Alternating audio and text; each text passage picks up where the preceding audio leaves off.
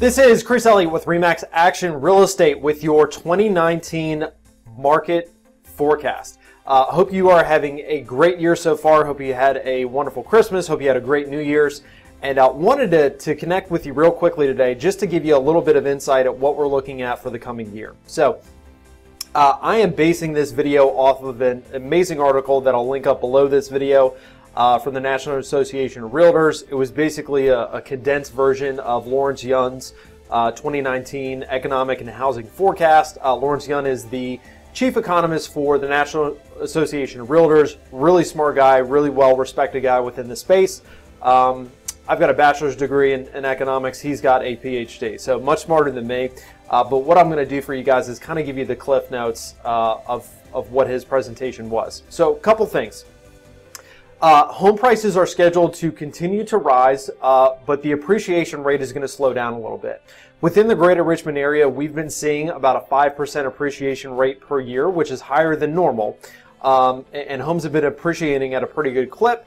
Uh, that is projected just to slow down a little bit, and we're projected to, to be looking more like a normal market. So we're going to see 2 to 3% appreciation rates uh, across the country, uh, which is what is projected. Um, as you may have seen in the news, interest rates have ticked up a little bit, so that's going to affect us uh, a slight bit. Uh, a buyer's afford- affordability has gone down a little bit just because interest rates have gone from four to four and a half to now we're looking at five percent. More than likely going to be at five and a half percent by the end of this year at a prime rate. Uh, a couple of good things. Um, you know, we've had some great growth. Uh, the real estate market's been amazing over the last couple years. Um, some people that makes them nervous just because they've lived through 2004, 5, 6, and 7. Um, as opposed to, to that period of time, what everybody is saying is that we're growing on solid fundamentals. So uh, we're not growing on loose mortgages. We're not growing on overbuilding. Um, new construction is still well under uh, the need. So new construction is underproducing um, according to the housing uh, demands versus overproducing. So they've still got a little uh, catching up to do. We're at historically low foreclosure rates, so it seems like people have kind of learned their lesson or, or at least remember uh, what happened in 2007 and 8, and they're being a little more cautious with their money. And also, the banks have tightened up, or, or, lending restrictions have tightened up, so we're not seeing some of those crazy mortgages that we were. So, we're growing on solid fundamentals.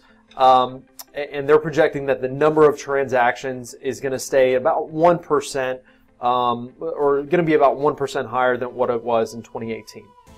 So all that being said, what does that mean to you?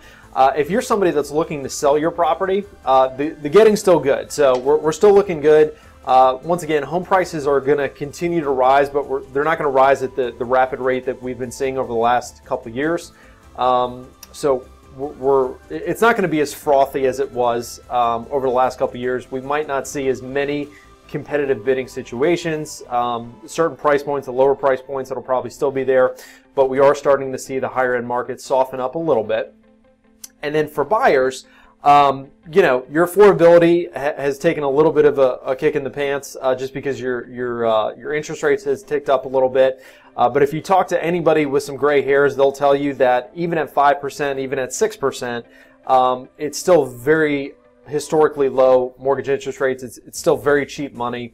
Um, and what everybody is saying is that once buyers kind of just get used to the sticker shock or, or get over the sticker shock rather, uh, that 5% mortgage rate will just become the new norm and, and, people just come to expect it and it won't really prohibit anybody from, from buying.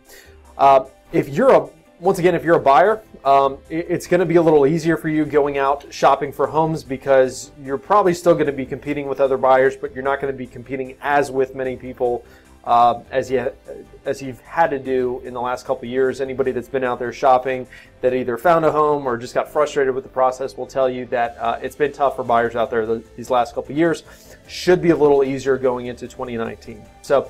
I hope that helps. I hope you guys have an amazing 2019. Certainly, if I can help you with any of your real estate needs, feel free to contact me and uh, make it a great year.